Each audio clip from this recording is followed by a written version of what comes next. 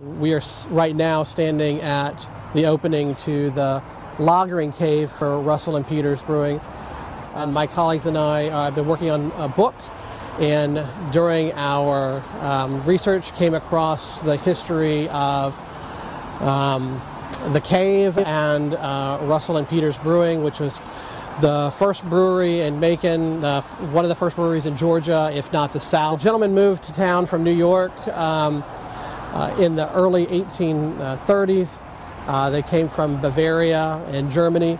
Um, uh, Jacob Russell came down with the railroad uh, and was employed there.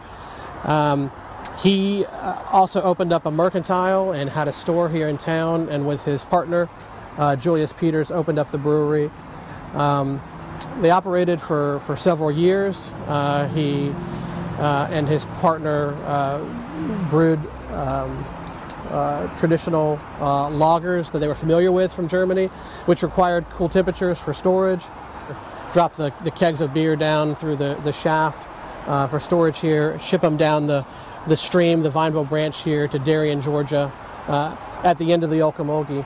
The significance of this cave not only resides in the industrial history of Macon, but uh, the significance of the time period of which the, the brewery operated.